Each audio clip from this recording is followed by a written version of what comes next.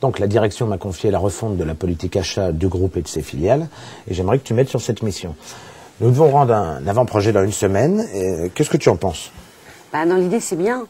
Mais après, pour le mettre en œuvre, c'est là que ça coince. Comment ça? Bah, tu sais comment sont les gens. Moi, au contraire, je suis favorable au projet, je t'en ai déjà parlé. Mais j'ai peur des résistances au changement. En fait, je serais plus confiante si on faisait plutôt un test sur une branche, par exemple.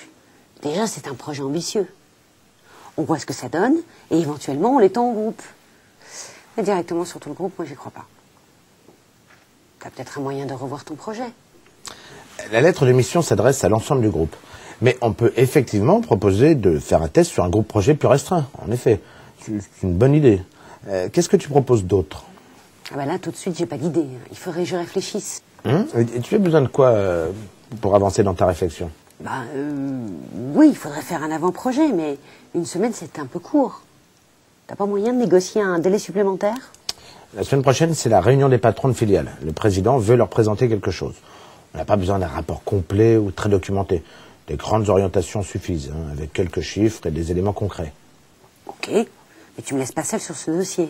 Ah, on fait à deux, du début jusqu'à la fin. Ok. Bon, je rassemble deux ou trois choses et on se voit après le déjeuner, d'accord? Ça marche.